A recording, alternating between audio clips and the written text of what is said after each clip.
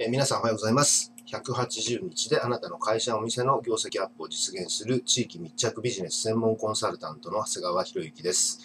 今日もよろしくお願いします。今日の動画ブログですが、都合のいい意見だけ公表していませんかというテーマでお届けいたします。ここ1、2年、弊社にコンサルティングを依頼していただく企業さん、あるいは縁あって新たに出会った方の多くに共通することがあります。それはですね、高齢者向けの商売を行っているということなんですね。えー高齢者向けの商売で起業した方、既存の商売にプラスして高齢者向けの事業を始められた企業さんなど、その関わり方はいろいろあります。また変わったところでは、うん事務所の所在所在地周辺ですね、そこに高齢者の世帯が多くあるということに気づきまして、結果的に高齢者向けの商売にシフトした企業もあります。商売のヒントはですね、足元にあるということなんですね。え多くの方は高齢者と聞いて真っ先に思い出すのは医療とか介護の分野だと思います。そして医療や介護の世界ではホスピタリティということがですね、大切だと言われています。その他観光とか旅行のツーリズム、ホテルだったりレストラン、あるいはウェディングなどの分野でもホスピタリティは重要視されているわけです。えーホスピタリティとはですね、思いやりとか、あとは心からのおもてなしという意味で使われますね。ただ非常に抽象的な概念だと思います。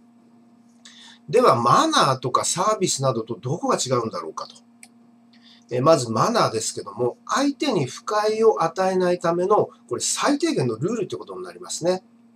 一方、サービスは、お客様をもてなすことや、お客様のためにする奉仕のことを言うわけです。一見サービスとホスピタリティは同じような感じですけども、サービスに関して言うと、対価とか報酬を求めるために行う行動。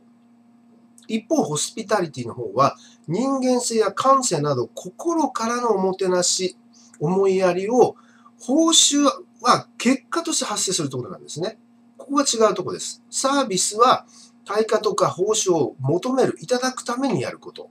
一方、ホスピタリティは結果的に報酬とか対価をいただけるということなんですね。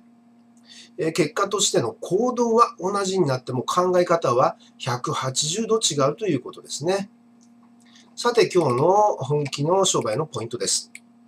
さて、先日、ある医療機関に行く機会がありました。えその医療機関とはですね、総合病院です。診察まで待ち時間がありましたので、病院内をブラブラしていると、ある掲示板を見つけてしまいました。えその掲示板には、患者さんの意見と、それに対する病院側の返事が書いてある紙が貼ってあったわけです。え全部で8枚貼ってありました。左と右の2列ありまして、左側には悪い意見が4枚、右側には良い意見が4枚。えー私はですね、商売柄これをじっくり読んでしまいました。例えばこんな意見が書いてあったので、え2つばかり紹介したいと思います。ご意見。看護師さんも忙しいと思いますが、患者の言葉に対して何を言ってるんだと面倒くさそうな顔をして、しかも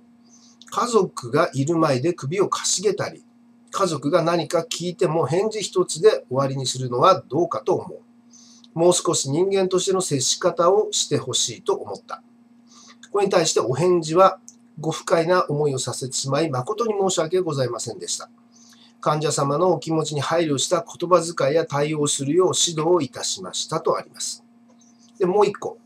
ご意見。入院中のものですが、付き添いの私に看護主任さんから大丈夫と声をかけていただきました。